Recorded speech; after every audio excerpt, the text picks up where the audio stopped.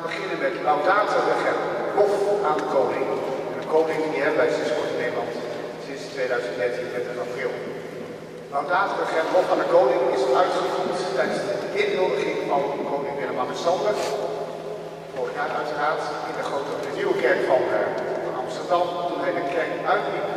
Toen hij dit nummer gespeeld door de kapel van de koning van het Laudato.